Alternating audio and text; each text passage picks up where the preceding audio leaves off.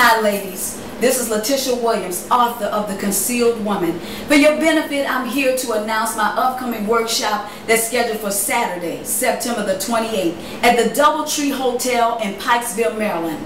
Allow me to take you on a journey of transformation as we unveil the true woman in God's image.